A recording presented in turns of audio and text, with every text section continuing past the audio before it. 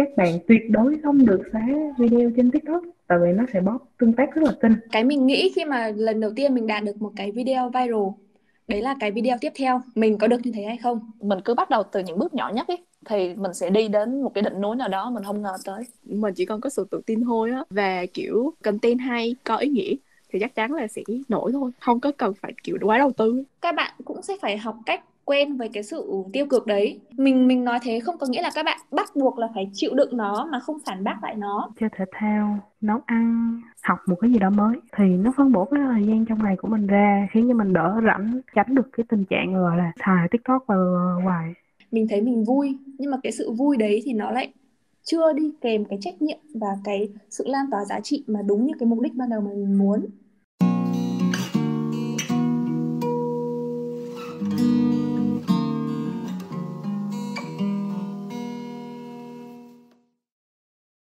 Chào mừng mọi người đã quay trở lại với podcast Nghĩ gì nói đó mùa 2. Mình là Như Thùy, host của chương trình.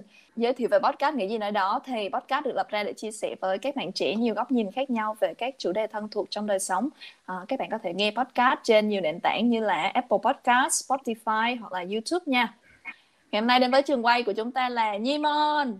Yeah.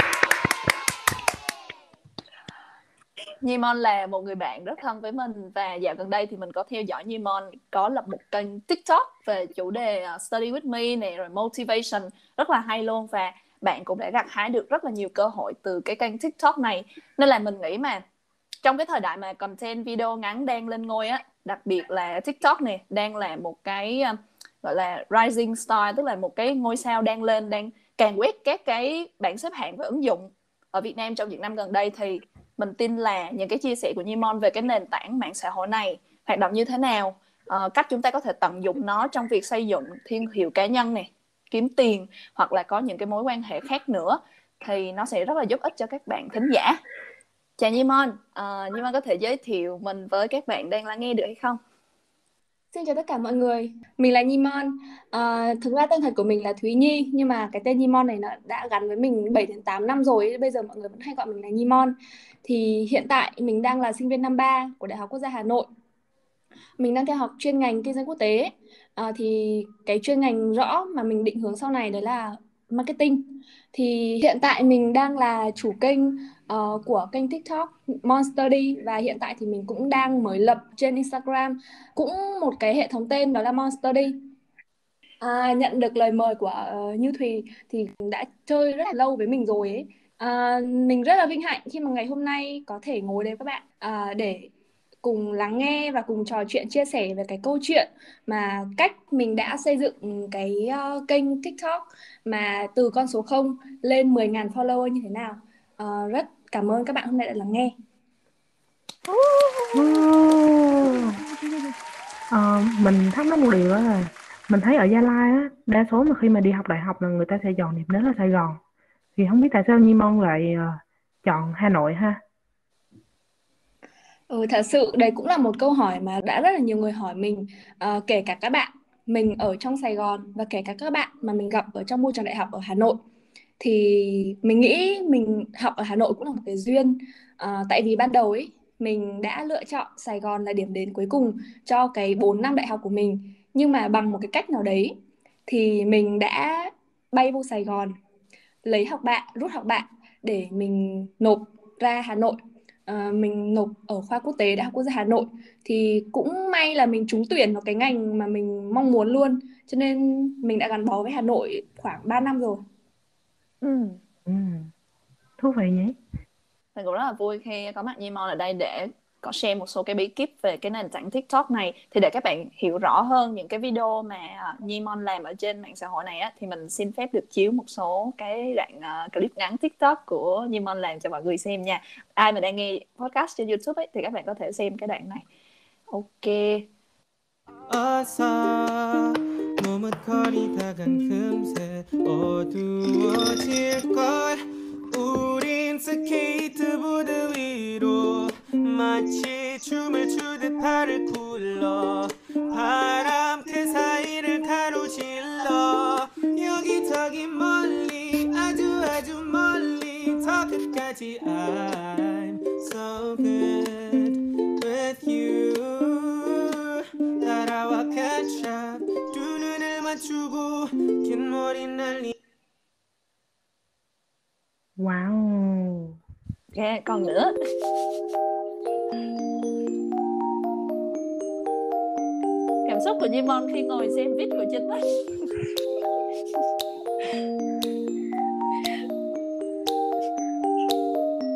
mình coi lại video của mình và mình thấy mắc cười. quá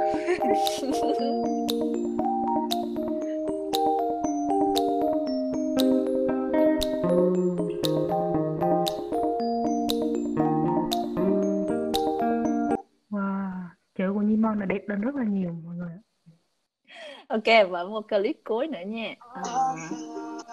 đây Ê, tao thích clip này nhất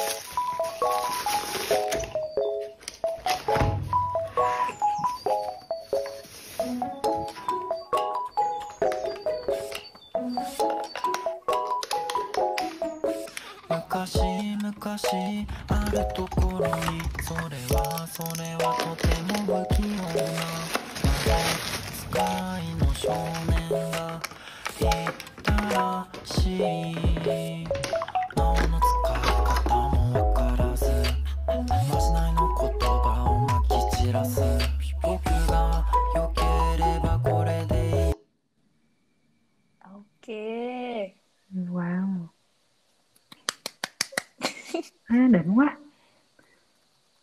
định quá định quá định. Quá đỉnh chu cha ơi. Ok, thì đó là ba cái video mà nhận được rất là nhiều view ở trên TikTok và cũng uh, nhận nhận được rất là sự quan tâm rất là lớn từ uh, các bạn uh, follower của kênh Mon Study. Uh, bà nói về TikTok á, thì hồi trước đây Thùy có một hơi có một cái ác cảm một chút xíu với cái nền tảng này. Tại vì khoảng một hai năm trước á, thì nghe đến TikTok mình sẽ nghĩ tới những cái kiểu như là hơi uh, nội dung nó hơi kiểu toxic á, kiểu bắt đầu nhảy nhót linh tinh rồi múa may quay cuồng kiểu kiểu vậy. Giống Ờ. musically đúng không?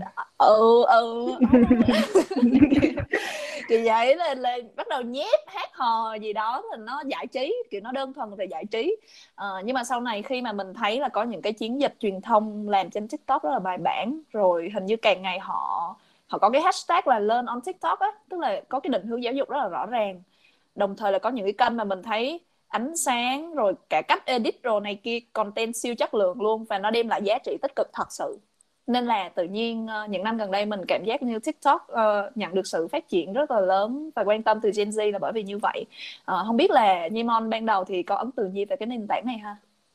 Thực ra thì mình cũng như Thùy ờ, khoảng 3 đến 4 năm trước ấy khi mà cái kênh TikTok này nó bắt đầu thịnh hành ở trên thế giới ấy, thì mình đã nghĩ là cái kênh này ấy thực ra nó như kiểu là nói cái ngôn ngữ của mình ấy nó là trẻ trâu ấy. Tại vì có những cái video mà nó Ừ. nhảy nhót rất là lố bịch ấy thật sự mình không hề thích kênh những cái kênh như thế này một chút nào.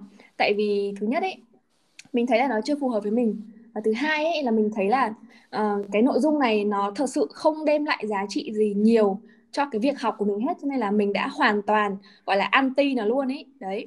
Nhưng mà hiện tại ấy, thì khi mà cái đợt covid vừa rồi ấy thì mình lại vô tình mình lại bắt đầu sử dụng TikTok. Thì ờ, cái lúc mà mình lướt ấy thì mình cũng có để ý là mình đã ờ, tìm những cái chủ đề liên quan đến cái việc học của mình ví dụ như là marketing này, design này, các thứ như thế. Cho nên là mình thấy ừ nó cũng khá là bổ ích mà cho nó cũng không đến nỗi để mình phải anti như những năm trước đâu đấy, đấy là những cái mà mình đã cảm nhận được sau mà khi ờ, khi mà mình đã tham gia. Ừ. Ừ. Thì Nhi cũng tự nhiên nghe Thùy với Nhi Mong nói vậy cái mình cũng nhớ lại những cái ký ức đau buồn khi mà khoảng thời gian đầu mình coi TikTok. Rồi mà mình cũng là một trong những nạn nhân bị Thùy xỉ vả. Tại vì mình lên TikTok mình lướt tối ngày. Rồi mỗi lần nghe cái tiếng là Thùy thì kiểu mày có tắt đi không? Rất là đau buồn. Không hiểu tại Vậy- sao giờ vẫn làm bạn nhưng mà nhưng mà cái kênh TikTok này nhưng mà à, quên nhưng mà mạng xã hội TikTok này nó hình như nó có từ năm 2016 hay sao nhỉ? đúng rồi cũng cỡ khoảng khoảng đó thì phải Ừ. Đấy là tức là cấp 3 đã có rồi đúng không? Mình mình học Đúng cấp rồi, 3 đúng là rồi. đã có rồi ấy. đúng rồi đúng rồi ủa từ từ vậy là vậy là bạn Nhi hồi cấp ba bạn Nhi đã lướt TikTok rồi á đúng wow không nhưng mà cái biết sao không tại cái TikTok á nó ai mà chơi TikTok mà không có kiên trì á, nói là kiên trì cho vui chứ kiểu, khi mà mới đăng ký TikTok thì cái mẹo để có những cái video phù hợp với mình đó là mình dành ra một ngày để mình ngồi mình cứ lướt vậy đó xong mình thấy những cái nội dung nào nó hợp ý với mình thì mình cứ follow, cứ like. Thì dần dần TikTok nó sẽ tự customize và nó cho mình những cái dạng video mà nó sẽ phù hợp với mình nhất. Như kiểu hồi đó như thích chó mèo đó là khoảng thời gian đầu không like gì hết á chỉ like chó mèo thôi. Xong riết rồi cái new feed toàn chó với mèo không vậy à, um, sao ta? Ráng chịu đựng khoảng thời gian ban đầu. Thì mọi chuyện sẽ ổn. Ừ. Ủa tại sao lại phải chịu đựng? Thì kiểu cũng sẽ có những cái video như thùy nói à, kiểu tại vì ừ. ban đầu là nó sẽ xét suy xét cái IP của mình. Thì cái IP mình ví dụ ở địa chỉ ở Việt Nam đây thì nó sẽ đưa cho mình coi những cái những cái video đến từ Việt Nam trước từ những cái người dùng ở Việt Nam trước. Thì ừ. Mấy bạn biết rồi trên Việt Nam thì người ta làm cái gì đó. Ừ. đó thì dần dần dần họ thấy mình lơ những cái video như vậy nhiều á thì lúc đó họ mới bắt đầu recommend hơn nhiều cái video khác. Ừ ừ ừ. Đó là ừ, đúng rồi. mẹo xài tiktok. Đồng ý. Okay. thì với hà là cái ấn tượng đầu tiên của hà về tiktok á là nó không được tốt lắm giống như mọi người ấy. Tại vì kiểu cứ tưởng là ở trên nó là những cái content mà khá là chị chị con uh, nó không phù hợp với lứa tuổi của mình nữa tuy nhiên là lúc mà tải tiktok về là kiểu hay bị cuốn vô luôn ấy tại vì bên cạnh những cái uh, nội dung về mặt giáo dục như thùy có chia sẻ thì nó còn có những cái nội dung mà khá là giải trí uh, thật ra là mình có thể lướt tiktok cả ngày luôn ừ. được nữa ừ. Ừ. Ừ. Không biết là mọi người thích hay thích xem nội dung gì trên TikTok ha để các bạn thính giả có thể hình dung rõ hơn. Nhi Mon. À, à đúng rồi, mình thì mình khá là thích những cái video về inbox à, kiểu như là nó có cái tiếng động nghe rất là vui tai và kiểu rất là giải trí ấy. sau những cái giờ căng thẳng mà mình được nghe những cái tiếng đấy thì cảm giác nó rất là sột soạt nó rất là thư giãn ấy đấy cái thứ hai thì mình cũng khá là thích những cái video mà hướng dẫn tại vì mình hiện tại mình cũng đang tập tành edit các thứ ở trên Canva ấy cho nên là đấy là một trong những cái kênh mà mình rất là thích ở trên TikTok. Ừ. Ở đây thì Thùy biết là Hà cũng có làm về marketing á, không biết là Hà kiểu cái nền tảng này có đưa cho Hà những cái idea gì hay ho từ marketing không ta? Ờ, có nha. Bên cạnh những cái idea thì uh, còn có một cái kênh mà không biết mọi người biết không là Modi đâu ấy thì chị hay có chia sẻ những cái kiến thức về marketing tại vì chị cũng là trong ngành thành ra là ừ. khi mà chị chia sẻ thì hà cũng đâu đó nắm được một số cái cái cụm từ mà hay được sử dụng trong uh, marketing à, bên cạnh đó thì kiểu khi mà mình xem tiktok ấy, thì mình sẽ biết được cách mà những bạn content creator họ họ nghĩ ra được cái cách mà họ làm video họ như thế nào và đa số thì khá là khá là kiểu sáng tạo ấy. Thì nó giúp ích cho mình rất nhiều tại vì hiện tại mình cũng đang làm trong agency ấy, cũng làm về mảng sáng tạo. Thành ra là khi mà lướt tiktok ấy thì ngoại trừ cái việc giải trí á nó mình còn học được rất là nhiều thứ. Ừ ừ thì nghĩ là cái ý hay nói rất là đúng đó là mình xem mình biết các bạn content creator họ có những cái nội dung sáng tạo gì trên này. Thì không biết là cái khoảng thời gian của Nhimon á khi mà mình xem ở trên TikTok cho đến cái lúc mà mình bắt đầu kênh của riêng mình á thì nó như thế nào ha? Thì uh, mình bắt đầu quay trở lại về cái đợt Covid tháng 2 vừa rồi ấy thì mình bắt đầu sử dụng TikTok. Đầu tiên của mình thì đang là về bầu trời thôi tại vì mình rất là thích chụp mây trời các thứ ấy. Đấy cho nên chính vì thế là cái tên On Cloud9 mới ra đời. Lúc đấy thì mình cũng lướt là chính thôi tại vì kênh của mình có rất là sơ sài ấy. Và nhớ mãi đó là lần đầu tiên mà mình đăng cái video về bầu trời. Mình được đúng 129 view. Lúc đấy thì mình cũng thấy khá là vui ấy, tại vì 100 view với mình nó cũng rất là cao rồi trong hẳn một ngày lập video. Đấy.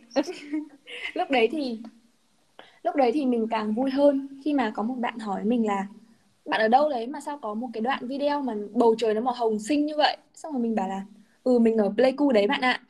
Thì cái video thứ hai của mình, nó là sau một tháng, lúc đấy mình bắt đầu có một chuyến bay từ Hà Nội về Pleiku. Thì trước đấy mình cũng hòm hòm là mình đang nghĩ là ừ hay là mình trong cái chuyến này thì mình sẽ quay một cái video nào đấy để cận cảnh từ cái lúc mà mình lên sân bay cho đến lúc mình về nhà như thế nào nhỉ? Thế là mình bắt đầu quay thôi. Ờ, vậy thì như thắc mắc là sau những cái video như vậy á thì đến cái thời điểm nào mà Nhi Mong để cảm giác là cần phải bắt đầu xây dựng kênh và nghiêm túc với nó như bây giờ? Cái lúc mà mình vừa nói là khoảng tháng 3 mình về Gia Lai thì đợt đấy lại bùng dịch Covid thêm một lần nữa. Thế là mình lại ở nhà học online. Thì lúc đấy mình mới bắt đầu làm một cái video về quá trình học thì một cái sự may mắn nào đấy thì cái video đầu tiên đấy về việc học on đấy là một cái quá trình gọi là ngủ dậy này mình skin care làm sao này mình kéo cửa sổ như thế nào. Đấy thì tự nhiên cái clip đấy mình được 50.000 lượt view. Lần đầu tiên trong cuộc đời. Lần đầu Ừ. tiên trong cuộc đời ngủ dậy một đêm. Hơn 1.000 người follow làm mình rất là sốc. Ờ, hiện tại thì tới giờ thì cái video ấy cũng được khoảng 72.000 lượt view rồi. Đấy sau đấy khi mà cái video đấy mình được viral thì mình bắt đầu cũng thay đổi cái góc học tập của mình. Đó là bằng một cái chiếc khăn trải bàn đầu tiên. Ờ, cùng với các đồ dùng khác như là ờ, cái lót ly này cái sticker các thứ cũng là những cái bước đầu tiên mà mình nghiêm túc về cái nghề TikTok. Rồi rồi cái lúc mà kiểu bắt đầu à, xây dựng kênh tiktok của mình nghiêm túc như vậy nhưng mà thì thì thì thì Nhimon có gặp kiểu khó khăn gì không? Ờ, cái mình nghĩ khi mà lần đầu tiên mình đạt được một cái video viral đấy là cái video tiếp theo. Mình có được như thế hay không? Chắc chắn nó là một câu hỏi rất là suy nghĩ đối với tất cả mọi người kể cả mình cũng vậy. Tại vì ấy, mọi người sẽ có một cái tâm lý đấy là khi mà mọi người có một được một cái video viral rồi thì mình sẽ tự hỏi là thế những cái nội dung tiếp theo mình làm nó có thật sự hấp dẫn để xứng đáng được viral như thế nữa hay không? Và mình đã flop thật sự là mình đã flop sau đấy rất là nhiều. Sau 3 đến 4 video tiếp mình cũng không đạt được đến con số 10.000 view. Thật sự thì lúc đấy mình khá là buồn ý. Mình đã nghĩ là ừ thời tới rồi 72.000 lượt view là tới rồi thời tới rồi là chuẩn bị hot tiktoker rồi đấy. Nhưng không đời không cho phép mình làm điều đấy thế là các video ấy cứ trải dài cứ flop đều đều thôi Ờ, thì mình nghĩ đấy là một trong những cái khó khăn trong cái bước đầu tiên mà mình làm TikTok ấy. Ừ. Ừ. Nhi có đọc được một đúng hơn là Nhi có coi được một cái TikTok nó nói về chuyện ờ, đăng TikTok làm sao không bị flop á thì Nhi mong có thể ờ, nghiên cứu lại tại hồi đó Nhi coi thì hình như nó kêu là các bạn tuyệt đối không được xóa video trên TikTok tại vì nó sẽ bóp tương tác rất là kinh Ờ, vì biết đâu một ngày nào đó cái video nó lại nổi lại hay sao thì cũng có một số người như thấy là họ tự nhiên họ đi, họ lại nổi tiếng chỉ vì những cái video của họ từ thời xưa lắc xưa lơ rồi hai không mười mấy á. Ừ. Đó, thì mình cứ giữ nó đi rồi biết đâu một ngày nào đó tự nhiên nó lại viral thì sao còn đỡ hơn là bây giờ phá thân bị bóp như vậy Ừ, ừ, ừ. Nói đến cái chuyện mà xóa video ấy, mình cũng đã từng xóa rất là nhiều lần rồi. Và đấy mình nghĩ cũng là một trong những lý do khiến mình flop sau những cái video tiếp theo ấy. Ờ. khi mà được một cái video đầu tiên viral như thế đúng không? Thì cái video tiếp theo mình cũng không nhớ rõ là mình đăng về cái nội dung gì nhưng mà cũng, cũng là chủ yếu về học tập và về cái cuộc sống thường ngày của mình. Và thậm chí mình còn đăng một cái giờ hoàng đạo cơ là 8 giờ tối. Đúng rồi.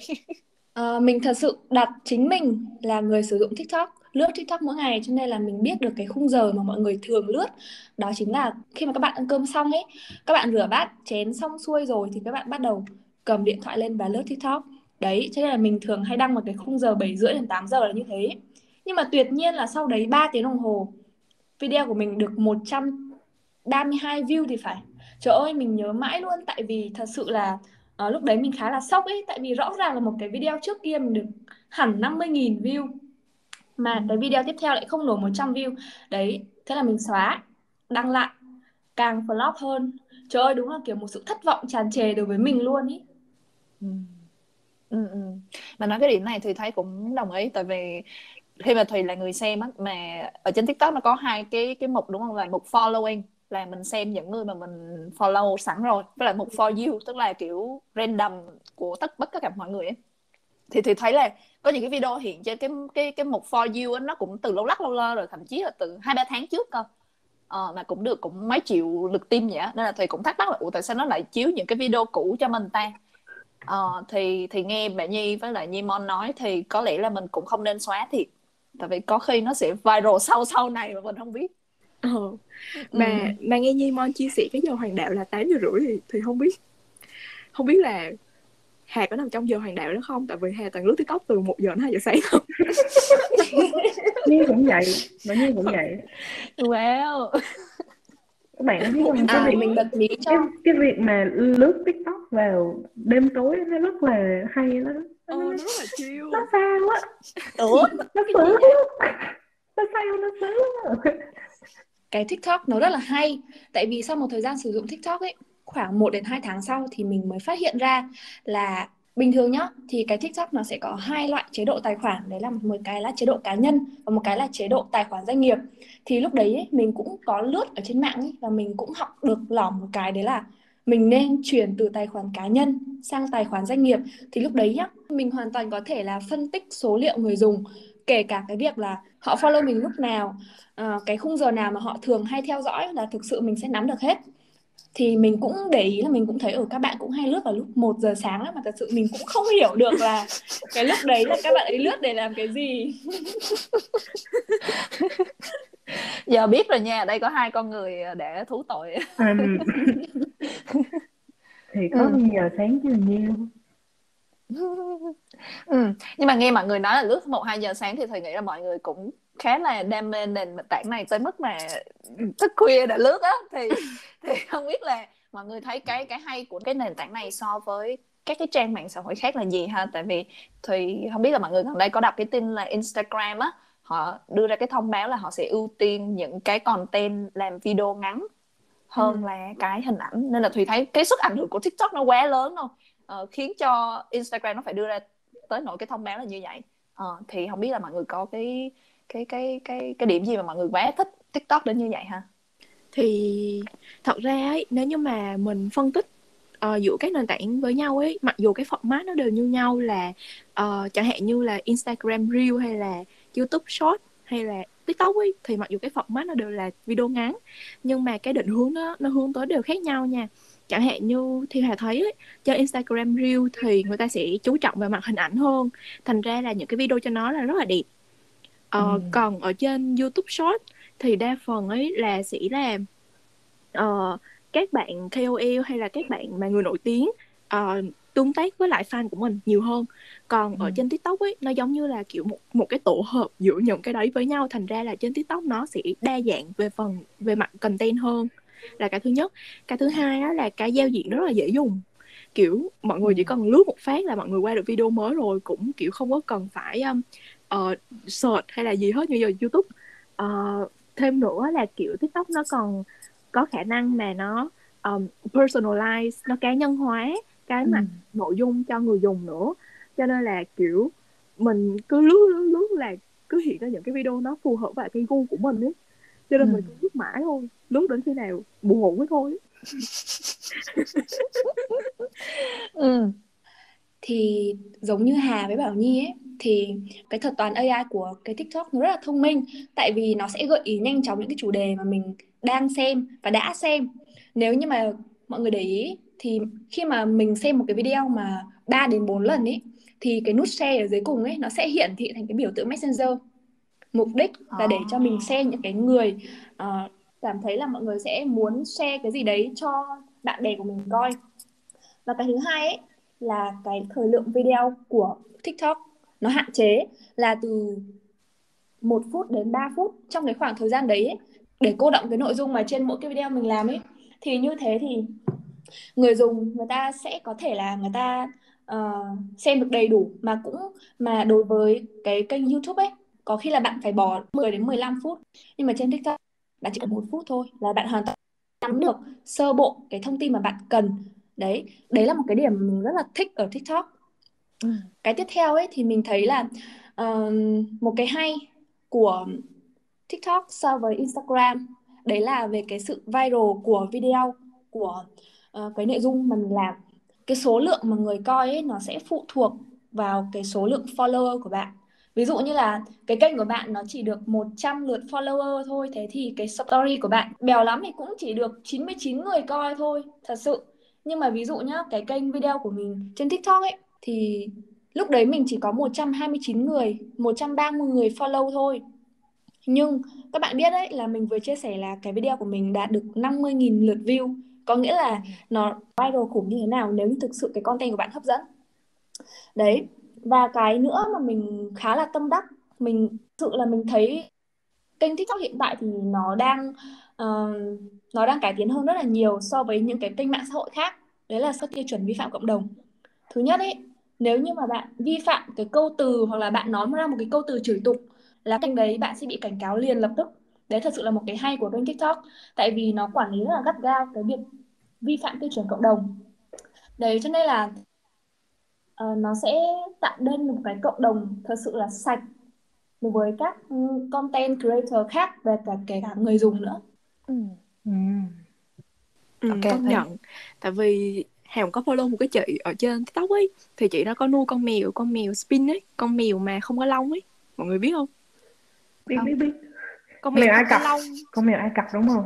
Ồ con mèo không có lông. Thành ra là khi mà chị đã đăng hình đăng video của con mèo của chị lên trên tiktok thì tiktok nó lại detect là cái video đó là nút nút khỏa thân.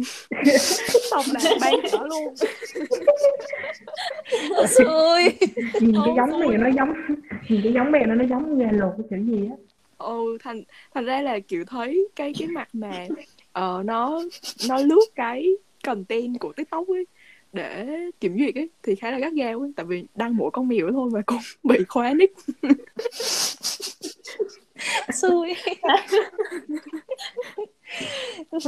ok thì um, nãy giờ nói về cái mặt khó khăn của uh, tiktok này uh, ờ, thì như như như mình thấy thì Nhimon khoảng thời gian đầu là cái cái lượng view nó cũng lên xuống bấp bênh.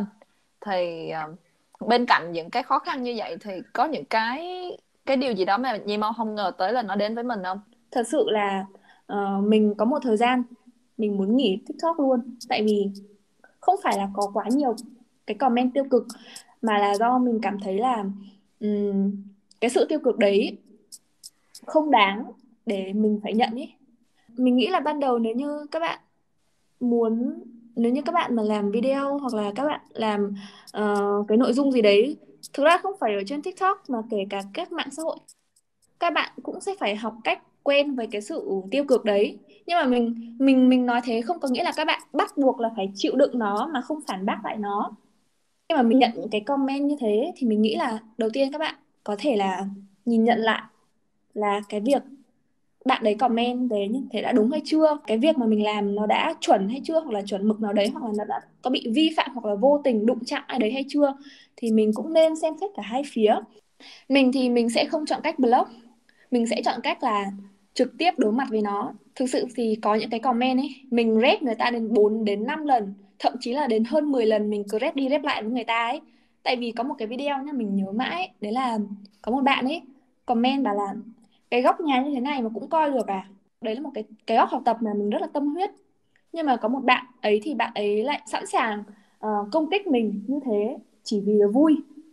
Mình thật sự ừ. thấy là cái cái cái việc đấy nó không nên xảy ra đối với tất cả các người dùng ở trên TikTok và kể cả các, các nền tảng xã hội khác đấy thì uh, mình chọn cách đáp trả một cách khôn ngoan và uh, đồng thời là cũng không nên quá nhún nhường người ta nếu như mà thực sự người ta cố ý công kích công kích mình ấy mình nghĩ là mọi người nên có một cái động thái nào đấy để xử lý khôn ngoan cái comment đấy dọn rác thôi ừ. ừ. đúng rồi thì nghĩ là ừ, những cái comment chê bai đó thì nói chung là content creator nào cũng sẽ đối diện và thêm cả là cái việc là áp lực phải ra content mới mỗi ngày nữa. Uh, ví dụ như chắc mọi người cũng biết cái vụ là Cluting một cái người fitness youtuber gần đây cũng bị áp lực từ dư luận rất là nhiều khi mà có một số cái bài báo kiểu rảnh hơi xong rồi công kích rất là tiêu cực kiểu như là bà này tập sai rồi rồi bà này ăn uống rồi gây rối loạn tiêu hóa vân vân cái kiểu. Thì cô cũng rất là khó chịu và đăng lên một cái video gần đây đó là có khi là sẽ nghỉ youtube luôn ấy. Ừ thì không biết là cái việc bí content Nhimon có có trải qua cái cái đó không ta? Ý là cái việc content áp lực mình phải ra mỗi ngày hoặc là ra mới liên tục ấy. Trời ơi hắn xảy ra thường xuyên luôn ấy. Thật sự ấy à, nhất là cái thời điểm tháng hè vừa qua nhá khi mà nhất là cái đợt covid ấy thì mình không thể ra ngoài đúng không? Đấy thế là mình cũng gặp một vài vấn đề cá nhân nữa. Thành ra là cái việc mà đăng video tiktok lên một tuần là ví dụ như kiểu là mình sẽ áp là ừ, mình sẽ lên lịch đó là 3 đến 4 video một tuần đi.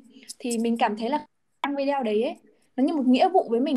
Tại vì cái mục đích ban đầu của mình ấy làm tiktok đó chính là phục vụ cá nhân lan tỏa cái niềm vui đến đến cho người khác. Thì những cái về đấy thì mình nghĩ sau rồi nhưng mà đầu tiên mình chơi tiktok cũng chỉ để thỏa mãn bản thân đã.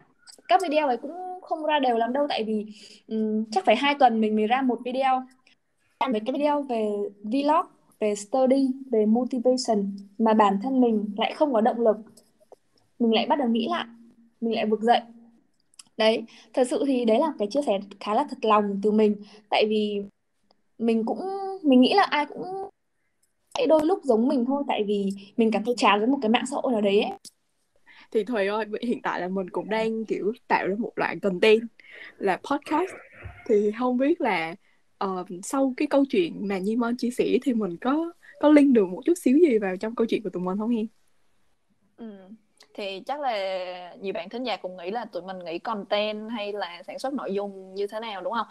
Uh, nhưng mà Thùy nghĩ cái đầu điều đầu tiên mà Thùy làm đó là Thùy gọi là tiếp xúc rất nhiều cái content tương tự uh, tức là trước cái khoảng thời gian mà Thùy làm cái podcast này gì đó này là Thùy có một khoảng thời gian nghe podcast tiếng Anh siêu nhiều luôn trước khi mà cái làn sóng podcast nó đang nổi lên ở Việt Nam á, Thùy nghe podcast tiếng Anh siêu nhiều, nên là Thùy tự nhiên có một cái cảm giác rất là thích và hiểu được cái cách người ta truyền đạt, cái cách dẫn dắt của host như thế nào, rồi cái cách họ đào tạo đề tài, họ sản xuất đề tài nội dung ra sao ấy. Đó. Nên là hiện tại nếu mà nói về podcast tiếng Việt thì thầy cũng ít nghe lắm, nhưng mà ừ, nội dung thì thầy sẽ lấy những cái trong đời sống gần gũi thôi, kiểu như là mình đã xác định là người Gia Lai đúng không? Thì thầy sẽ tìm những cái người Gia Lai xung quanh mình chẳng hạn là uh, từ mối quan hệ bạn bè ví dụ như Mon nè hoặc là từ bạn của Hà từ bạn của bạn Nhi. Uh, mình thấy họ có những cái nét cá tính rất là riêng và mình khai thác. Thì thì th- thì thấy đó là cũng một, một cũng là một cái hướng để mình có thể bắt đầu. Và và thùy nghĩ là sau một hồi đúc kết nha thì thấy là cái câu just do it đó của Nike á nó vẫn rất là đúng. Ừ. ừ kiểu như là mình cứ làm thôi được tập 1 rồi mình tính tiếp. Chứ mà mình cứ nghĩ nhiều quá là mình sẽ không có ra gì đâu. Thiệt. Thiệt ra thì ừ. ngay từ đầu mà Thùy rủ Hà làm podcast thì cũng không ngờ là mình sẽ đem đến season 2 luôn Thùy. Ừ. Hồi cứ tưởng là chỉ làm tập 1, tập 2 cho vui ai ngờ đâu tới season 2 ừ, đúng rồi ấy. Ấy là tự nhiên cứ làm tập 1 xong rồi mình sẽ tự nhiên một ngày đẹp trời mình lại nghĩ ra à có bạn này mình cũng muốn được muốn mời bạn lên chia sẻ là cứ ra tập 2, tập 3 rồi cứ vậy thôi. Nói chung là mình cứ bắt đầu từ những bước nhỏ nhất ấy thì mình sẽ đi đến một cái đỉnh núi nào đó mình không ngờ tới. Ừ. chắc cũng giống như Mon thôi. Lúc mà kiểu nhận cái video đầu tiên chắc như Mon cũng không ngờ tới là ngày hôm nay như Mon được nhận quá trời hợp đồng đến từ tiktok như vậy đúng không như Mon? Thì biết là được gần đây là Nhi-mon nhận được một cái hợp đồng KOL của Shopee nè. Chúc mừng Nhi-mon nha.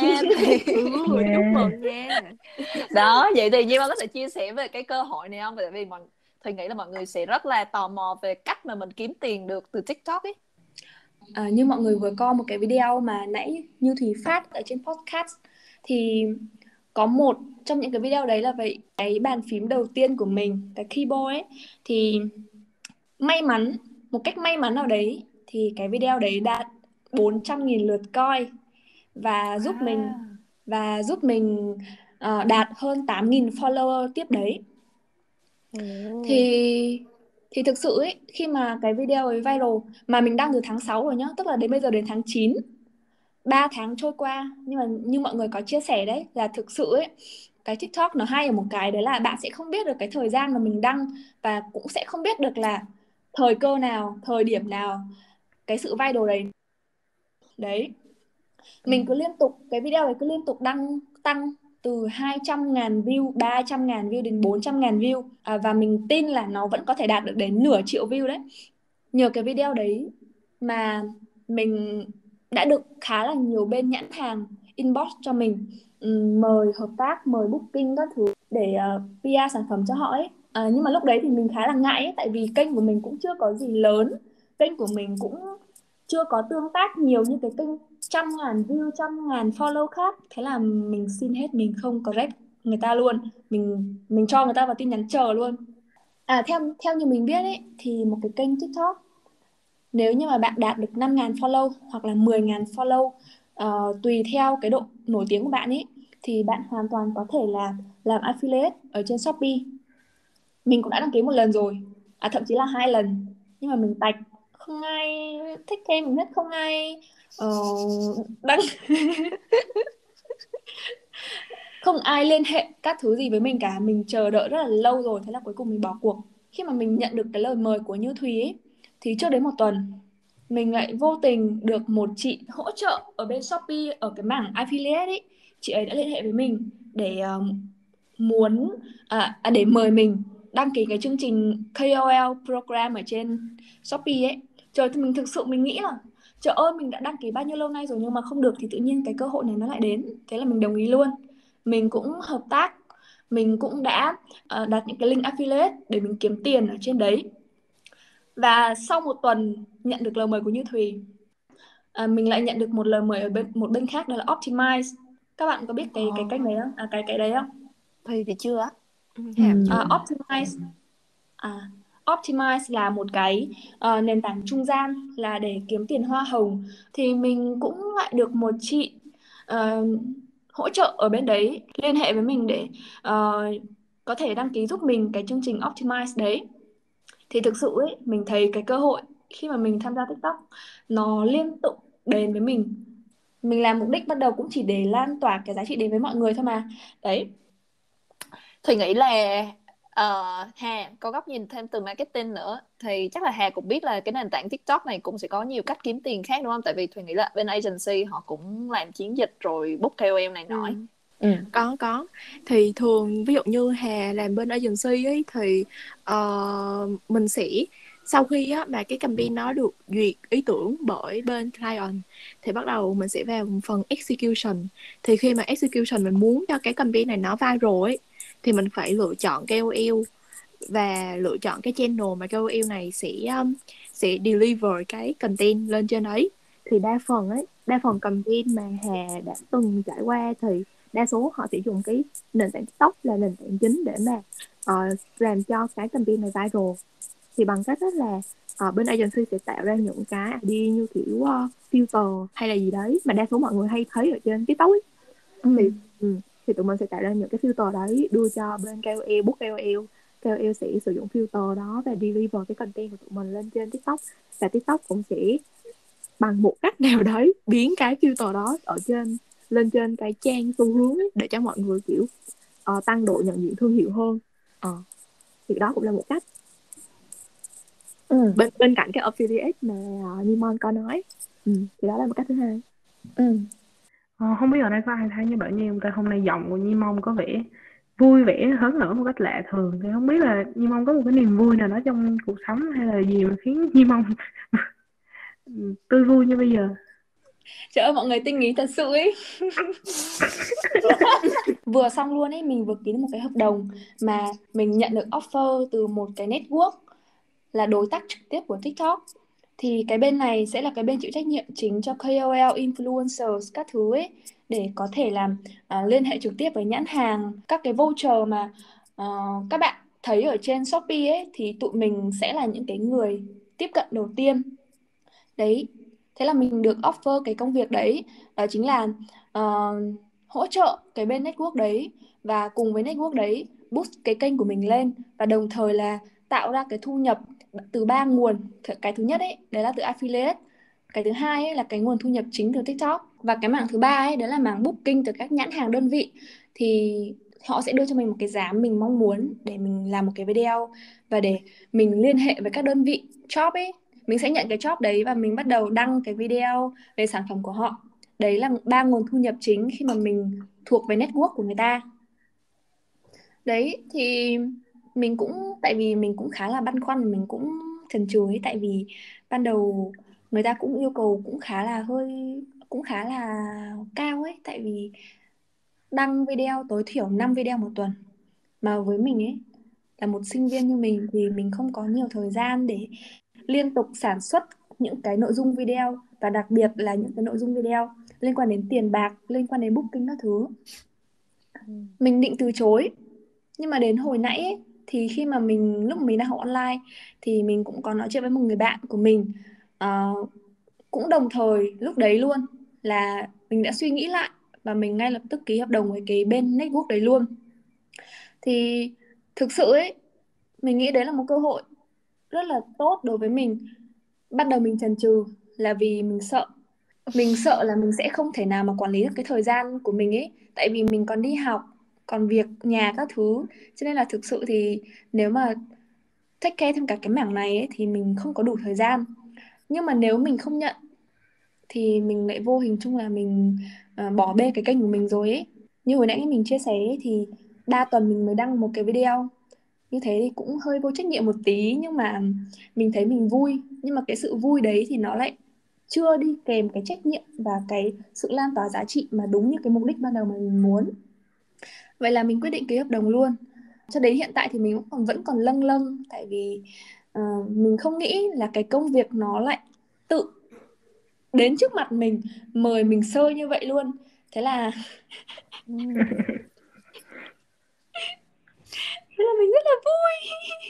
Wow, chúc mừng chúc mừng chúc mừng thì nghe xong chia sẻ của Nhimon á mình cũng thấy được là cái cơ hội kiếm tiền từ TikTok nó rất là rộng mở mà giống như Nhimon vừa nói là tự nhiên nó từ đầu tới nó mời mình chơi. Mặc dù các bạn có thể thấy là kênh Nhimon không phải là kênh đạt được trăm ngàn follow hay là quá là nổi tiếng trên mạng xã hội hay gì hết. Đó các bạn thấy là chỉ mới uh, hơn 10 ngàn follow ờ, mà mình xây dựng được một cái thương hiệu cá nhân của mình thì cái cơ hội kiếm tiền được từ TikTok nó rất là rộng mở. Ờ, thì bây giờ với một người mà mới bắt đầu TikTok đi làm TikTok thì theo như Mon nghĩ là sẽ có những cái nội dung nào mà các bạn có thể bắt đầu thực hiện? Mình sẽ thích những cái video liên quan đến chủ đề vlog hoặc là cái cuộc tức là cái cuộc sống hàng ngày ấy và motivation uh, học tập thúc đẩy học tập các thứ. Cho nên là mình đã chọn cái hướng đi của mình đó là như thế. Um, sau đấy thì mình cũng khá là thích những cái video sản phẩm unbox các thứ. Mình lại tiếp tục dấn thân vào cái thị trường đấy thực ra thì gọi là dấn thân thì nó cũng không đúng lắm nhưng mà mình cũng vô tình và vô hình chung. Mình có được những cái booking đầu tiên đến từ những cái nhãn hàng liên quan đến uh, chủ đề mà mình đang làm. Cho nên cái đầu tiên mà mình khuyên các bạn hãy nên là chính mình. Tại vì có thể những cái video đầu tiên các bạn không nên hy vọng là các bạn sẽ được nhiều view uh, nhiều follower và thậm chí là sẽ flop chứ không phải là lên view đâu nhưng mà hãy đừng nản vì chắc chắn là nó sẽ xảy ra thôi. Tốt nhất là mình không nên đặt nặng cái vấn đề đấy. Thì sau khi một thời gian các bạn lướt các chủ đề mà bạn quan tâm ấy thì bạn cũng có thể xây nó về để tham khảo thêm cái nội dung của người ta. Rồi uh, mình thấy cái cái nhạc nào hay thì mình cũng có thể xây về để mình lồng ghép vào trong những cái video của mình phù hợp ấy. Sau khi có lượng tương tác ổn thì các bạn hãy nhìn nhận lại cái comment hoặc là cái các thắc mắc mà trực tiếp ở trong cái video của bạn ấy thì bạn sẽ men theo những cái um, thắc mắc đấy của người dùng để các bạn có thể uh, cho lên sóng những cái video giải đáp. Thì từ đó thì bạn hoàn toàn có thể là uh, bắt đầu từ những cái bước nhỏ như thế như thế để tạo nên những cái giá trị dần dần cho cộng đồng. Mình cũng không biết được là cái định hướng của mình là sẽ như thế này cho đến khi là mình ngồi vào bàn học. Mình thấy ừ cái sở trường của mình đó là ngồi học thế và từ cái ngồi học đấy ừ. mình lại bắt đầu mua một cái mình mua một cái tripod đơn giản 60 nghìn. Mình dựng máy lên mình quay video video time lapse. Rồi đấy cứ từ từ mình phát triển lên thôi. Thật sự nó rất là đơn giản. Nó cũng không cần phải sự chỉn chu hoặc là uh, cũng không cần phải quá chỉn chu hoặc là bạn quan tâm về quá bạn quan tâm quá nhiều về mặt hình thức thì thì gần đây á cũng có một chị tiktoker khá là nổi là chị uh, Lê thủy sinh năm 2000 thì Hà cũng công nhận với Nhi Mo là mình chỉ còn có sự tự tin thôi á. Uh, và kiểu uh, content hay có ý nghĩa thì chắc chắn là sẽ nổi thôi không không có cần phải kiểu quá đầu tư. Thì sẽ có những bạn thắc mắc là nếu như mình không có điện thoại xịn nếu như mình không có góc học tập xịn nếu như mình không có cái background xịn đi thì làm sao? Thực sự với các bạn. Uh, có nhiều bạn bảo mình là ừ do mình có điện thoại xịn nhá do mình có iPhone này nọ hoặc là do mình có góc học tập trong mơ chẳng hạn. Nhưng mà thực sự mình nghĩ rằng là những cái điều kiện đấy không phải là điều kiện tiên quyết mà thực sự cái giá trị các bạn mang lại các niềm cái niềm vui mà bạn mang lại cái động lực mà bạn năng mang lại nó mới chính là cái quan trọng nhất để giúp cho cái kênh của nó phát triển bền vững. Ừ. Ừ thì nãy giờ nha mình nói kiếm tiền rồi mình nói là khó khăn rồi các kiểu rồi. Nhưng mà có một cái mặt xấu mà thùy nghĩ là cần phải đề cập mà thùy nghĩ hà đây là cần phải chấn chỉnh lại bản thân đó là cái việc mà nghiện tiktok cho tới một hai giờ sáng luôn. Đúng không hà? Mình mình đồng ý là mùa dịch có thể là các bạn chán quá không có biết làm gì á. Nhưng mà đồng ý là những cái nội dung này tại vì nó ngắn này có một hai phút rồi nó đa dạng xong rồi cứ lướt một cái là ra nội dung khác là nó cũng gây nghiện cực kỳ mạnh á thì ở đây Nhimon hoặc là mọi người có thể chia sẻ cái cách sử dụng TikTok một cách lành mạnh healthy hơn không? Ờ, có một cái mẹo mà Hà muốn chia sẻ tại vì Hà cũng kiểu bị nghiện không thể nào mà ngừng lại được thật ra là để uh, chấn chỉnh lại bản thân ấy. Thì Hà hay có một cái mẹo là để điện thoại uh, chỉ còn đúng 10 phần trăm hoặc là mười mấy phần trăm đấy. Rồi mới bắt đầu lướt tiktok. Thì mà lướt đến khi đã hết pin đi thôi. Ghi nhận. Hay ho thật sự ấy. Tiếp cho những bạn kiểu không có gọi là không có trách nhiệm với bản thân ấy. Thì mình nên làm những cái điều như vậy. Em mọi người có biết cái chế độ mà mà limit giờ giờ chơi app Ờ, ở trên iPhone không? Tao Ừ, nhưng mà cái đó nó có thật sự hiệu quả không ta? Có. Ừ tao cũng limit một tiếng mà tao ignore nó hoài. Cho nên cách tao là hiệu quả nhất rồi. Thiếu nghị lực quá. Ờ, ở đây Nhi xin đưa ra không một lời khuyên nào hết tại vì bản thân Nhi cũng chưa thoát ra được. Vậy. Đó là sự thật. Ừ ừ nhưng mà nhưng mà bạn nhi nghĩ là có thể là mình sẽ thế nào? Ừm, Nhi nghĩ là sẽ phải uh, kiếm một cái gì đó khác để làm kiểu chơi thể thao uh, nấu ăn hoặc là đơn giản là học một cái gì đó mới. Thì nó phân bổ cái thời gian trong ngày của mình ra khiến cho mình đỡ rảnh đỡ buồn chán.